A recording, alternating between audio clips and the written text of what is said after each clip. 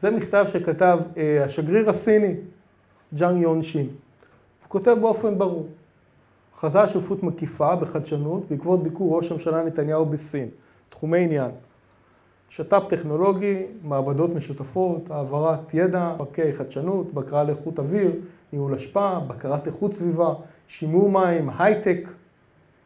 אם באלה אחד מהתחומים שלכם יש לכם לקוחות, זה תחום שמעניין את הסינים, באופן מאוד מאוד ברור. אה, עלייה מסיבית בתיירות של סינים. אתה רואה סינים, אתה הולך עכשיו לשדה תעופה, אתה רואה סינים. פה ב-140 אלף, יש מי שיסתכל על העקומות של מה שקרה מבחינת כמות התיירות, יש מהפכה גדולה של משרד התיירות עשה. סחר בילטרלי, יש לנו 13 מיליארד דולר, יש לנו עליות של 15 אחוזים לשנה, אה, מדברים על אזור סחר חופשי.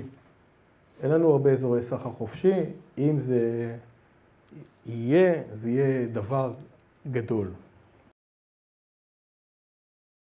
כשאנחנו רואים את הכמות של העסקאות, זה שקף של לפני מספר שנים, אבל אנחנו רואים כאן את דפוס און פארמה, אנחנו קוראים פה את שיארמי, טנסנט, עליבאבא, רנרן, ביידרו, לנובו, ZT, הרבה מאוד חברות שפה, מרמה של R&D Centers, מרמה של אה, אינקובטורים שיש לנו עכשיו בישראל, כל מיני אקסלרטורים שנכנסים, אה, כמות גדולה מאוד של חברות שנמצאות פה בכמות גדולה וחזקה.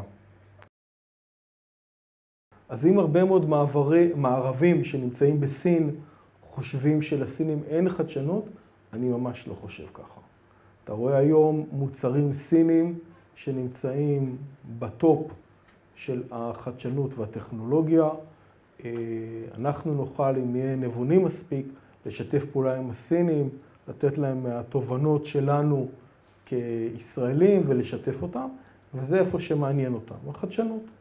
כלכלה קטנה מתעסקת בחדשנות, כלכלה גדולה יכולה לעשות גם חדשנות, ובעיקר כוח ייצור ושיווק.